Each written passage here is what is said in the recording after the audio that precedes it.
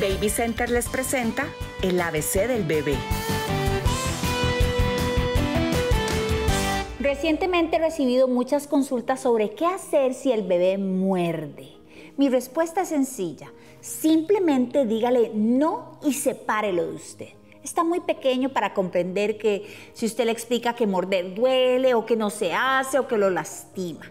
Es muy común que juguemos con nuestros hijos a morderlos o a perseguirlos y morderle las nalguillas. A menudo explico a nuestros papás acá en Baby Center que este juego no es recomendable ya que el niño va a repetir esta conducta con otros niños o con otras personas sin medir las consecuencias.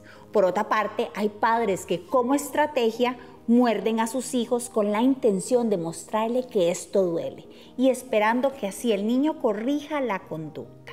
Por favor, no lo haga ya que lo confunde, lo asusta y un niño pequeño no tiene la capacidad de comprender el motivo por el que usted lo mordió.